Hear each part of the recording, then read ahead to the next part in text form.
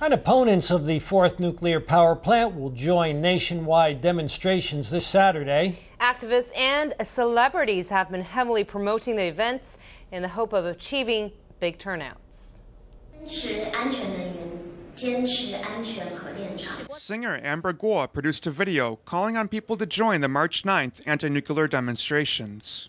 Another person who sparked discussion is this young woman, holding a sign that says, I am a mother and I oppose nuclear power. These families also plan to protest. A group of seven students from National Sun Yat sen University and National University of Kaohsiung will walk from the third plant in Hengchun to Kaohsiung. They will stop at local temples along the way to urge residents to oppose nuclear power. We were born after the first, second, and third nuclear plants were built, so we had no choice. But we have a chance to stop the fourth nuclear power plant. The DPP is playing a large role in the demonstrations and is encouraging celebrities to participate. But it does not want the protests to be political in nature, so it only plans to allow anti nuclear flags, not party ones.